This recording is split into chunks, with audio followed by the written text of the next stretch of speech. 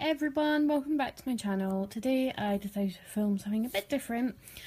I'm filming my makeup bag of the, now I kind of said I'm going to do this weekly, two weekly or monthly yet. Um, basically I got this idea from Andrea Militano. I'm really sorry, I probably can't pronounce her surname. But I've been subscribed to her for ages on YouTube and I absolutely love her. I'll link her channel in the description box. But she does a makeup drawer of the month where she goes through all her makeup and, you know, goes through what she's going to use for that month to make sure she's actually getting use out of all her makeup. So I'm really breathless. It's really muggy today.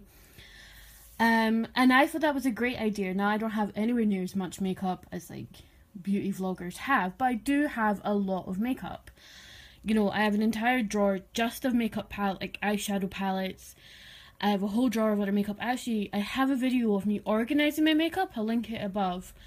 And since then, I've bought so much more makeup. It's insane. So I do have a lot of makeup that I don't regularly use. Um, and a lot of it just gets untouched. I just seem to go for the same look, the same lipsticks, the same eyeshadows, kind of almost on a daily basis. Um, you know, I'm always very warm tone shadows. Again, totally inspired by Andrea. She just, she's amazing.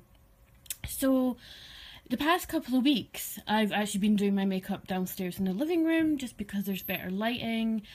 I have a better mirror down here and I've been storing my makeup in this bag which is the Mermaid Fan Club bag which I got in Peacocks. And I think this bag cost me about £4 um, but basically I started taking over the living room with my makeup. And our makeup's our makeup our living room's a mess already. It's so cluttered. But it got me thinking okay I like storing all my makeup upstairs but it's easier for me to do my makeup downstairs and I kind of thought, well, why don't I mix up my bag every week or every month, where, however I feel, and start using products that are sitting in the back of my drawer, have kind of been neglected, and see if I really want to keep them, if I like them this way, it makes me know, do I want to keep this makeup or do I want to declutter it?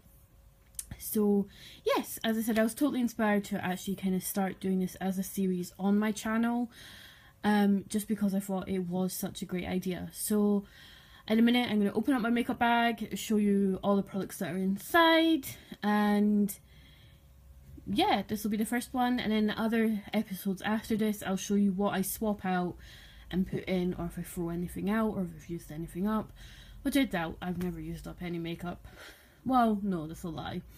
Um, so yes, um, again apologies for the kind of cluttered background. I'm filming this in the living room and we're currently throwing a ton of stuff out, so things are kind of everywhere.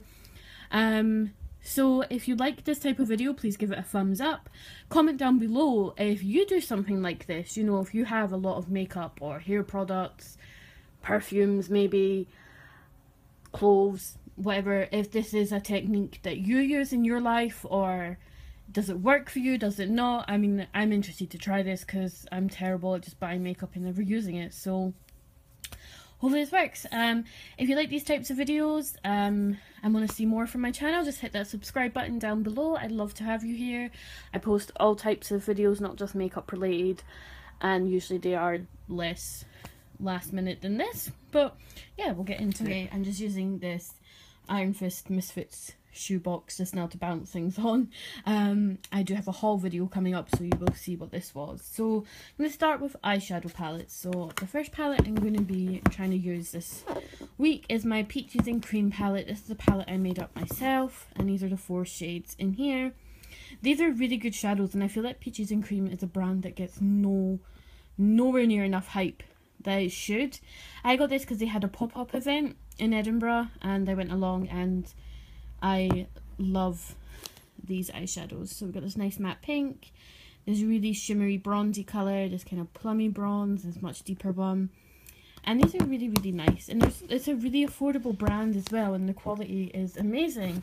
So if you do ever see them, I recommend checking them out. Um, that's their website there. Um, I have a few products.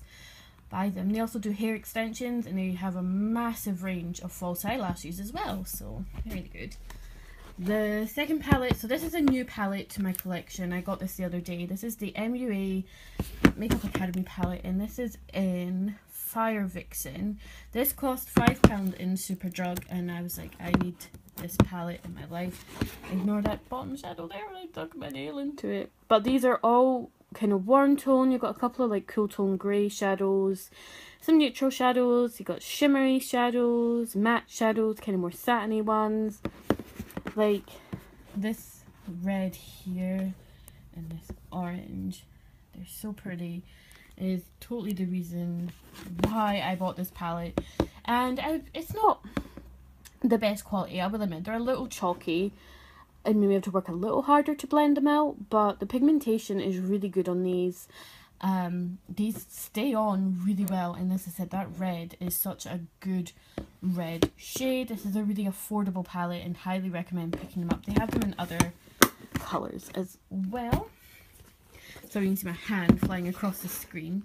So another eyeshadow palette I'm using. Now this one I do use quite regularly. It is one of my favorites. Is the Urban Decay Basquiat palette. And this is the doesn't say which one this it does have a name.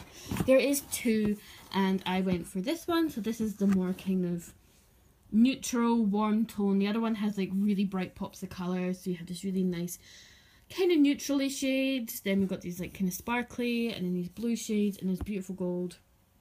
Not for sale is my favourite shade. In here, this again is such an amazing palette you can do again like a kind of more neutral look, a warm tone, kind of very smoky look. You know, I think it is a really good palette. It also comes with this massive mirror. And it is just beautiful. I mean, it is a collector's piece. You know, once you're done, you can hang it up. You have a piece of his work. You know, I have a video on this palette as well, and I am obsessed with this. But recently, I've kind of not been using it as often um, so I'm going to try and get some more use out of this and use it alongside other palettes. And then the last palette I have, which will be in every week or month, is my Swamp Queen Graveyard Girl Swamp Queen palette. Um, again, one of my favourite YouTubers ever, and her palette is the best. This is my all-time favourite eyeshadow palette. This is by Tarte. I'm not sure this is still available because it was limited edition. So this comes, as you can see, again, where I dug my nail into the bronzer, a blush, a highlight, and then all these beautiful shadows. These all smell like, not quite vanilla, but they have a really sweet, like, comforting smell. They smell nice, if that makes sense. So again, we got some really nice kind of neutral shades. Dogman is this amazing red. You can see Big Baby has a huge dent in it because I use that as a base. We got all these nice purples. And it is, the highlight is my favourite highlighter ever. If you don't like glitter, I wouldn't recommend this palette. But if, like me, you love glitter, then this is such an amazing palette.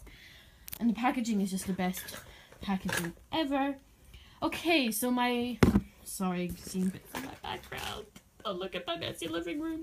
The blush I'm planning on using this time is this Rouge Powder in Apricot by Cien. I got this in Lidl. It costs like a pound. But it's surprisingly a really, really nice blush. Again, I have a video on the Lidl makeup range that I will link above. The bronzer I plan on using is from the same range. This is the bronzing powder in Bronze Shimmer. Again, I got this from Lidl for like a pound. I think their makeup's still on sale. I saw it last week. And it's a really good bronzer. It is quite light because I'm so fair. Just throwing stuff around. I don't usually go for bronzers, but that one is light enough. The highlights I plan on using this month is, this is my Makeup Revolution highlight in Peach Lights. Funny enough, this is one of the first powder highlights I ever bought. And I just haven't used it in so long. It's a really goldeny peach highlight. Makeup Revolution highlighters are some of the best highlighters, you know, affordable drugstore highlighters out there. And the other highlighter I plan on using is my Benefits Watt's Up. This is a cream highlight stick, and this again was one of the first high-end makeup products I ever bought. Uh, one of the first ever highlights I ever used, and again, it's just been slightly neglected, and it's more of a golden tone, so I'm thinking for more autumn, that might look better. Uh, for foundation, this I'm using my Rimmel Fresher Skin in Light Porcelain. This is kind of like a very weird consistency. It is slightly too dark for me, so I'll get onto that in a second. But this is a foundation I bought a while ago, and it has amazing coverage. It's really lightweight. I actually really quite like it on because I have really bad acne scars and acne, and I feel that it covers them up really, really well. It's just because it's from the drugstore, it's always going to be a bit orange or too dark on me because I'm pale as a ghost. But this is actually a really nice foundation. Again, one that never gets talked about, but I do really like it. But because it is too dark, I will use my Body Shop Lightning Shade Adjusting Drops, which I put in almost every foundation apart from my number 7 foundations because I found that the number 7 foundation is the only foundation light enough on its own for my skin. But these are really good, you just, they have them in lightening and darkening and they adjust the shade of your foundation and I would be lost without these. And for setting spray, I'm using my NYX Matte Finish setting spray, almost because this is pretty much almost finished. So this probably wouldn't even last a week. It probably only has like one more use left in it. But I just want to use it up. For eye primer and concealer, I'm using my Benefit Lemonade eye primer and my Boing concealer in shade number one. This came in a kit, that's why it's in this packaging. Um, I need to repurchase Boing um, Boing number two is way too dark, but Boing number one is a good shade. And Lemonade I find is a really, really good eye primer. I have like three of these, so I'm never going to run out of it. Um, I ran out of my Air Patrol primer by Benefit, which I loved, but this is a really good primer, I find. For my face primer, I'm using my Benefit the POREfessional. This is my favourite primer ever. As I said, I have really open pores, I have terrible skin. This is almost ran out. This is like my fifth or sixth tube of this. I love this. Um, but again, it's almost run out and my skin's just been really bad recently. So I just kind of want to get using this this week just because my skin's been really bad. And then for my under eye concealer, I'm using the Maybelline Age Rewind, the eye, the eraser eye. I love this. I only bought this like a month ago, maybe a bit longer, and I'm nearly finished. It is so good. This is Tati talks about this all the time on her channel, and it really is such an amazing product, and it is so affordable and then I'll use my this badly needs washed uh, it's a real techniques blending sponge okay for my brows I'll be using this Bourjois Paris brow pencil in the shade Blonde Forest it also has a little kind of spoolie brush on the end um, I got this the other day, as I said, if you want to see me do a haul video, because I've been on a bit of a shopping spree, uh, comment down below, because I'd love to do one, but this so far I've noticed has been a pretty good pencil. It's a pretty good shade for me. I'm quite enjoying using a pencil again my brows. And then I'll also be using my Benefit High Brow which is a brow highlighter, which I use to highlight under the brow bone and across like, you know, the tail of the brow just to make my brows more defined. Then for mascara, I am trying the L'Oreal Lash Paradise. Although over here it's called Paradise Exotic, Ecstatic. Um, it's a bit confusing because obviously in the States it's called Lash Paradise, which everyone on YouTube has been talking about. But in the UK it's called Lash Ecstatic, which isn't the first time L'Oreal do change their names in the UK and the States, I have noticed. But they did advertise that this is the same mascara. I used it the other day and oh my god, it was like like I love the Miss Baby Roll mascara by L'Oreal and I didn't think this would top it but it has. I wore it on the night out. My lashes were still massive when I came home at like 2 in the morning. Um, I might do a whole video on this. Maybe there's so many videos on this mascara but it truly is such an amazing mascara. Um, eyeliner, I'll be using my Eyeko London Skinny liquid eyeliner in black. This is one of my favourite liquid liners. It's a felt tip liner and it is absolutely amazing. Okay, moving on to lips. Um, lip liners, I have this L'Oreal Infallible Longwear Lip Liner in Wuthering Purple. I also use this on my eyes, actually. I use this on the waterline because it is such an amazing pretty pinky purple colour that I think goes really well with the kind of shadows I wear. These are super pigmented.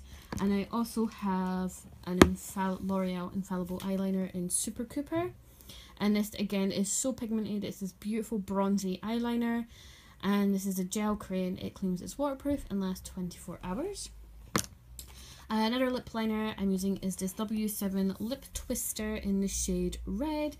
W7 is a really affordable brand, you know, you always see them in like B&M and the factory shop and Semichem, but this lip liner is actually really good. It's a product, they have, their products are quite hit and miss, but I do find that this lip liner is amazing. Okay, moving on to lip products, I have my L'Oreal Lip Paint Matte and this is in Wuthering Purple, so it goes with that liner. Again, in the States, these are the infallible lip paints. Not sure why they put infallible and everything else but the lip paints in the UK, but just in case you're watching from the States, being like, what, that has a different name. Um, this is a really, really nice formula. It's like a really kind of whipped formula, and this is a really pretty colour.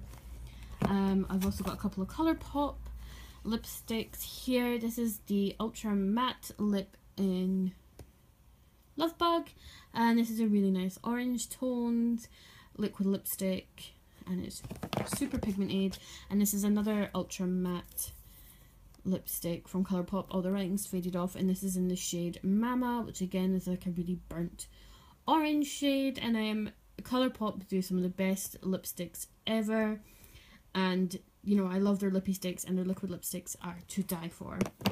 Then I also have my Clinique Crayola collaboration Chubby Stick in the shade Red Violet. I absolutely love this. Again, is more of like a collector's item. I don't know if they still sell these, but I know that Sally Hansen have a collaboration with Crayola with their nail polish, and I need to get them because so much nostalgia and being an artist. Just need this.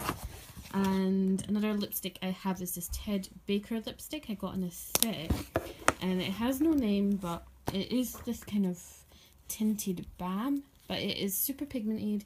This is kind of berry colour, it's got glitter in it. And this is a really comfortable, nice lipstick that does stay on. And then last but not least, I have my MAC Star Trek limited edition. This is for the 50th anniversary lipstick in the shade where no man has gone before. I am a massive, massive Star Trek geek. And here it is. This is just beautiful, sparkly, pinky nude shade. It goes on quite sheer, but it is this is the luster formula from MAC. And yeah, I mean I have like a Star Trek tattoo on my chest as well. Like I just, just and it is amazing. Um so yes, that is everything I'm keeping in my makeup bag this month or week and depending how I feel. So I mean I've got my liners, lip liners, lipsticks. We've got highlight, sponges, you know, primers, etc. So I think that is pretty much everything I would need makeup wise. I mean, obviously, if I'm having a day where I'm like, I really want to wear a black lipstick or I really want a certain shade of pink or a different foundation. Obviously, you know, I, I would just go upstairs and grab that. But I am trying to, make myself use more of my makeup. As I said, I mean, my Graveyard Girl palette I use almost every single day. It is my favourite palette ever. But, you know, I am trying to use more of my makeup that I own. Um, again, sorry this is such a kind of rushed video with my messy living room in the background. Um, but I really wanted to film this. I was just packing my makeup bag and I thought, you know what, I actually want to film this because, as I said, there's another YouTuber who she does this on her channel and I was just so inspired because I was like, you know what, it is such a good idea. So I hope maybe I've inspired someone to be like, I have a lot of makeup, let's get more use out of it. Or if you like this, then yay! So as I said, please hit that subscribe button down below. I do lots of different videos. I have vlogs, I have hauls, I have, um, there's like tattoos, goth stuff. My daughter, who Ivy, films a lot of videos on my channel about being having celiac disease. So yeah, I hope you enjoyed this and I'll see you in my next one. See you later. Bye!